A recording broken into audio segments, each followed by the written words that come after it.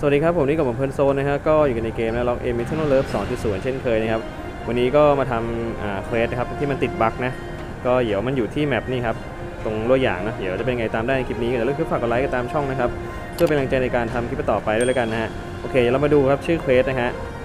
อ่าหลายคนอาจจะติดอยู่นะ แต่ว่าหลายคนอาจจะทำได้แล้วนะครับ มันเป็น bug นะ นี่ครับ quest มันมีชื่อว่าไปเที่ยวอะไรทุกอย่างนะ ที่มันจะให้มาแมปตรงนี้ครับ b r i d g of Wind นะครับ เนี่ยพอเรามาถึงจุดตรงเนี้ยมันก็ไม่มีอะไรทำนะ มันบอกให้ปกป้องปกป้องทุกอย่างหนึ่งผมลองอ่าตีพวก Kobold มันก็ไม่ผ่านนะฮะแต่ผมมีวิธีแก้นะครับ ก็ให้ทุกคนครับ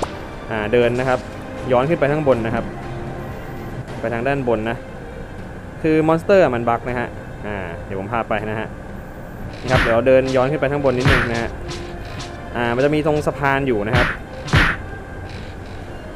พอเรามาถึงตรงสะพานที่ร้อยนะฮะมันจะเจอนี่ครับนี่ครับ Ghost w i นะครับตัวเนี้ยมันให้เราตีตัวนี้มากกว่านะครับอ่าให้เราตัวนี้แทนตีตัวนี้แทนนะครับเนี่ยวินสโกดนะฮะเนี่ยก็ผ่านเควสละแค่นี้เองนะครับ จุดของมอนสเตอร์ที่มันให้เราตีเนี่ยมันอยู่คนละจุดกันแค่นี้เองนะฮะหลายคนอาจจะยังไม่ผ่านด้วยนะครับเป็นเป็นเควสเมื่ออ่าสองวันก่อนนะครับเป็นเควสรายวันนะฮะพอทำแล้วมันจะได้กล่องมาเปิดได้ของนะฮะ หลายคนอาจจะติดตรงนี้อยู่นะ แต่หลายคนอาจจะผ่านแล้วก็ไม่เป็นไรนะฮะสำหรับใครที่ผ่านไปแล้วก็ข้ามไปได้เลยนะครับ